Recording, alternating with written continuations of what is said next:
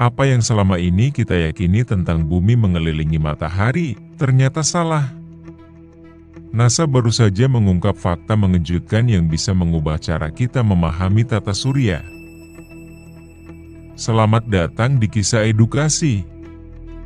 Di channel ini, kita akan mengungkap berbagai fakta menarik tentang sains, astronomi, dan alam semesta. Selama bertahun-tahun, kita diajarkan di sekolah bahwa bumi mengelilingi matahari, sama seperti planet lain di tata surya. Tapi baru-baru ini, NASA memberikan penjelasan baru yang lebih akurat tentang bagaimana sebenarnya bumi dan planet-planet lain bergerak di ruang angkasa.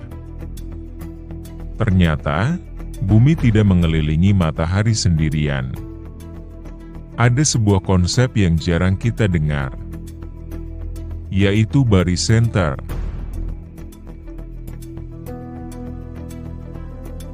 Dan ini adalah penjelasannya.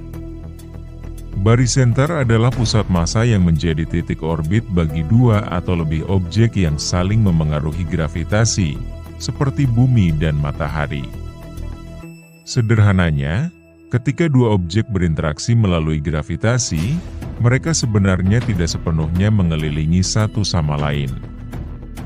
Sebaliknya, mereka mengelilingi sebuah titik imajiner yang disebut barycenter, yang merupakan pusat massa gabungan dari kedua objek tersebut.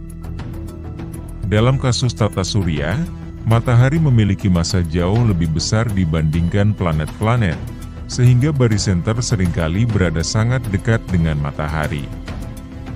Namun, Gravitasi dari planet-planet besar, terutama Jupiter, mempengaruhi posisi barycenter ini. Alhasil, barycenter tidak selalu berada di pusat matahari, tetapi bisa berada di luar permukaan matahari. Jadi, meskipun bumi terlihat seperti mengelilingi matahari, sebenarnya bumi dan matahari sama-sama mengelilingi barycenter ini. Ini adalah prinsip yang berlaku tidak hanya untuk bumi dan matahari, tetapi juga untuk semua objek besar di tata surya, termasuk planet-planet dengan bulan-bulannya. Barycenter ini sering kali berada di luar permukaan matahari, terutama karena pengaruh gravitasi dari planet-planet besar seperti Jupiter dan Saturnus. Kedua planet raksasa ini memiliki massa yang sangat besar, sehingga tarikan gravitasinya cukup kuat untuk memindahkan pusat massa tata surya dari inti matahari. Bahkan, ada kalanya barycenter, pusat gravitasi tata surya, benar-benar terletak di luar matahari itu sendiri. Artinya, bukan hanya planet-planet yang mengorbit matahari, tetapi matahari juga ikut bergerak sedikit mengelilingi titik barycenter ini. Hal ini menunjukkan bahwa tata surya tidak sepenuhnya statis, melainkan lebih dinamis dari yang kita bayangkan. Jadi, meskipun dari pandangan kita bumi terlihat seperti mengelilingi matahari, kenyataannya bumi sebenarnya mengorbit sebuah titik di ruang angkasa yang disebut barycenter. Barycenter ini adalah pusat massa gabungan antara bumi, matahari, dan planet lainnya, dan titik tersebut tidak selalu berada tepat di dalam matahari. Inilah salah satu fakta menarik yang jarang diketahui banyak orang, namun penting dalam memahami dinamika tata surya kita. Konsep barycenter tidak hanya berlaku untuk bumi dan matahari. Setiap planet di tata surya terutama planet gas raksasa seperti Jupiter dan Saturnus, juga memiliki barycenter yang memengaruhi orbit mereka. Sebagai contoh, Jupiter dengan massa yang sangat besar memiliki pengaruh gravitasi yang kuat, sehingga barycenter antara Jupiter dan matahari juga terletak di luar permukaan matahari. Hal ini menunjukkan bahwa semua objek di tata surya berinteraksi satu sama lain, dan orbit mereka dipengaruhi oleh posisi pusat massa gabungan tersebut.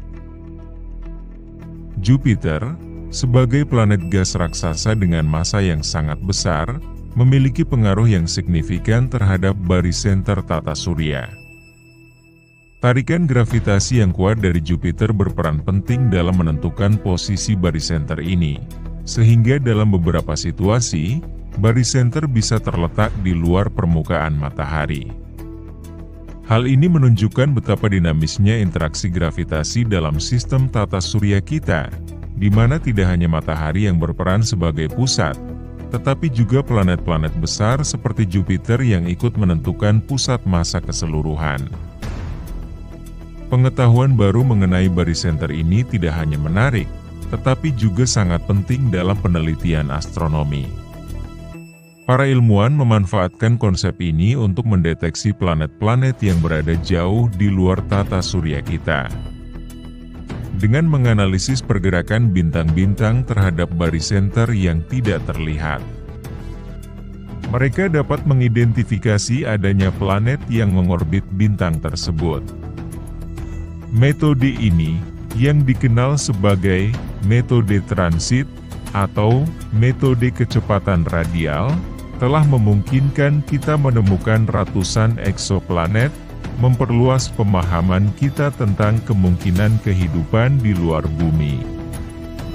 Konsep barisenter ini telah memainkan peran krusial dalam membantu kita menemukan ratusan planet di luar tata surya, yang dikenal sebagai eksoplanet.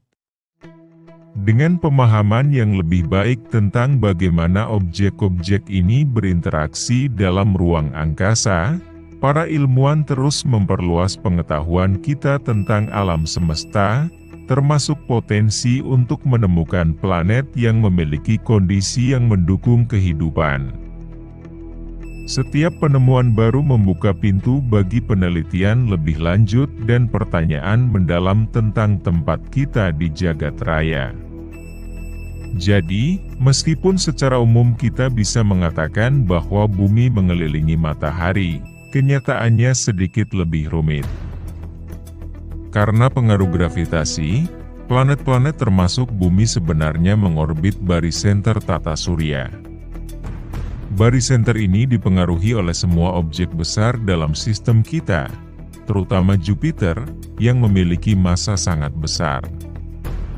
Ini adalah contoh sempurna bagaimana sains terus berkembang, menawarkan pemahaman yang lebih mendalam dan pengetahuan baru yang luar biasa tentang dinamika alam semesta kita. Bagaimana pendapat kalian tentang fakta baru ini? Apakah kalian terkejut? Jangan lupa untuk tinggalkan komentar, like, dan subscribe untuk konten menarik lainnya seputar astronomi dan pengetahuan luar angkasa. Terima kasih telah menonton. Sampai jumpa di video selanjutnya.